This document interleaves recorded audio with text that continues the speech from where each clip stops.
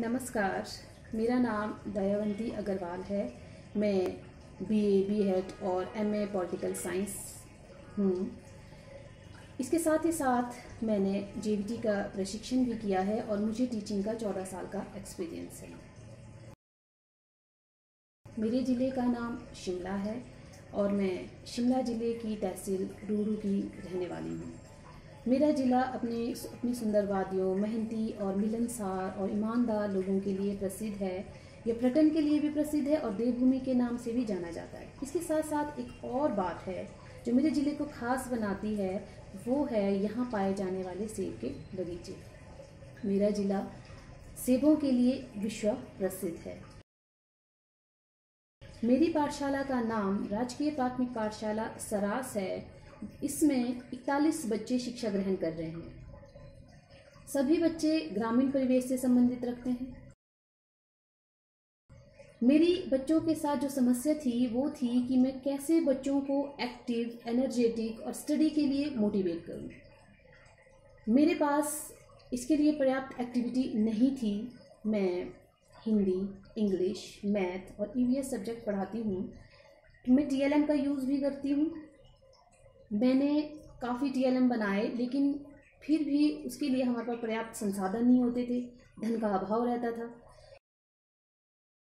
जब मैंने श्री अरविंद सोसाइटी के Z I I E I कार्यक्रम का प्रशिक्षण लिया तो मैंने सीखा, मैंने पाया कि कैसे नवाचार को बिना पैसे खर्च करके भी किया जा सकता है और अपने पढ़ाने के तरीके में सुधार किया जा सकता है। इस प्रशिक्षण से मुझे मेरे पढ़ाने के तरीके में सुधार करने का एक मौका दिया। इनोवेटिव पाठशाला को जब मैंने डाउनलोड किया इनोवेटिव पाठशाला में मैंने देखा कि विभिन्न सब्जेक्ट को, विभिन्न जो मेरे, जिनको मैं पढ़ाती थी, उनको कैसे गतिविधियों के द्वारा करवाया जा सकता है और पढ़ाने के तरीकों में सुधार किया जा सकता है और बच्चों को कैसे उन तरीकों को सिखाया जा सकता है। मैंने सीखा कि एक्सपेरिमेंटल टीचिंग में बच्चों को कैसे गतिविधियों में शामिल किया जाता है। और प्रशिक्षण से मुझे बहुत ही फ़ायदा हुआ।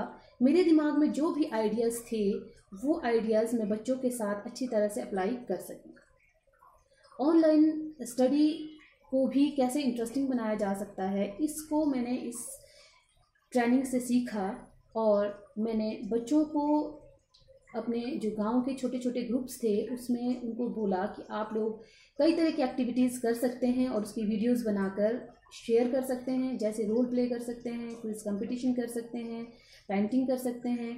बच्चों ने कई सारे वीडियोस बनाए और हम हम सबके साथ इसको शेयर किया। मुझे खुशी है कि जेड आई आई के ई आई के प्रशिक्षक श्री दानिश जी ने मेरा इसमें बहुत ही सहयोग किया। उन्होंने यह प्रशिक्षण बहुत ही सिंपल और साधारण और रोचक तरीके से करवाया।